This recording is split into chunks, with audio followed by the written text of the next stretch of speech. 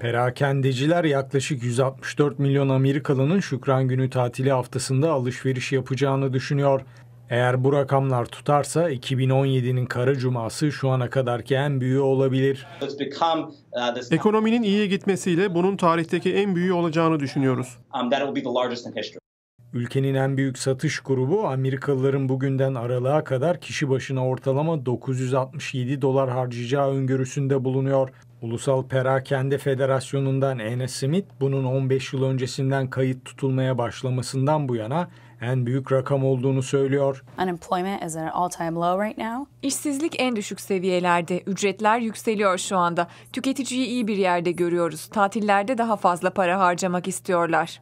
İnsanlar uzatılan alışveriş saatlerinden avantaj sağlamayı planlıyor. It's largely for PR purposes. And Çok sınırlı bir tedarik var. Eğer bilgisayar başında bekliyor ya da bir mağazaya girmeye hazırlanıyorsanız ve sırada bekleyen ilk sizseniz önemli indirimler yakalayabilirsiniz. Gerçeküstü fiyatlar elektronik aletler için yüksek talepte. Bu da Kara Cuma'nın bir spora dönmesini açıklayabilir.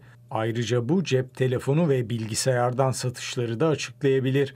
Uzmanlar bunun ilk kez 100 milyar doları geçebileceği düşüncesinde. So, major retailers like Walmart and Target Walmart ve Target gibi önemli mağazalar kendi dijital kapasitelerine daha fazla yatırım yapıyor.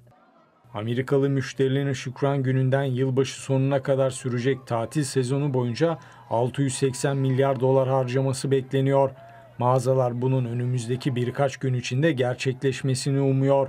Şükran Günü sadece alışveriş anlamına gelmiyor.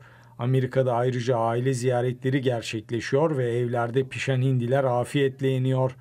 Bugün dolayısıyla hindi satışlarında da büyük bir artış yaşanıyor. Serhan Akif Akyıldız, Amerika'nın Sesi, Washington.